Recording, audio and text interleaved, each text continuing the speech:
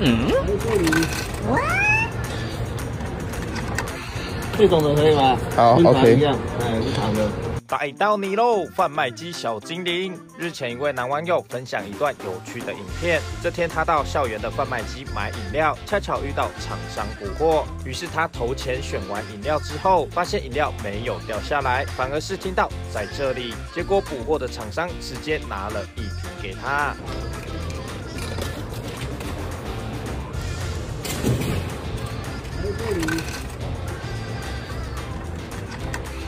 这种的可以吗？好，OK。一样，哎，是长的。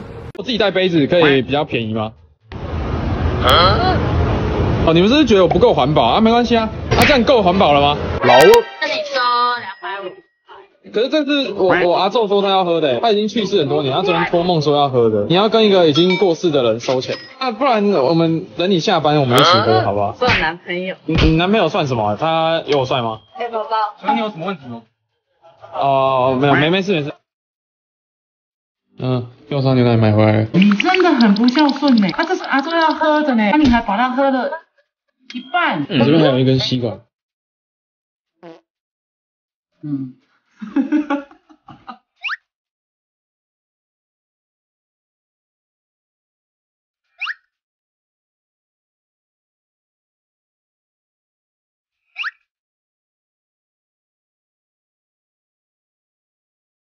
会从嘴巴吐奶奶吗？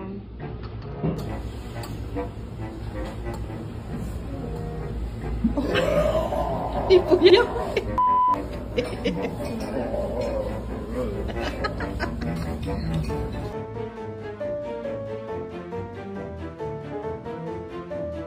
会从嘴巴吐奶奶吗？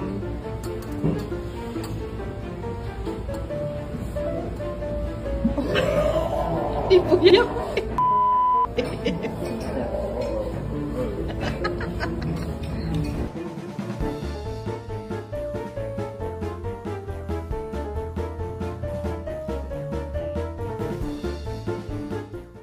台湾的正常甜是最最甜的呢？你以为是？你以为？为什么？你叫什么糖？台湾的正常甜是最最甜的呢？你以为是？你以为是什么？正常人喝的人？正常人喝的是叫正常？正常。说还？超不正常，我是这么多呢？很深。